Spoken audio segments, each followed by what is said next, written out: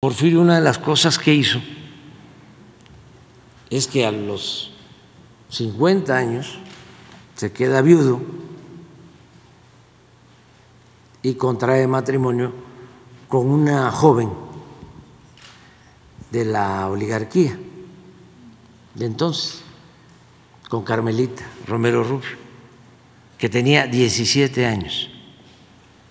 Pero fíjense cómo es el poder. Romero Rubio había eh, desempeñado el cargo de secretario de Relaciones con Sebastián Lerdo de Tejada.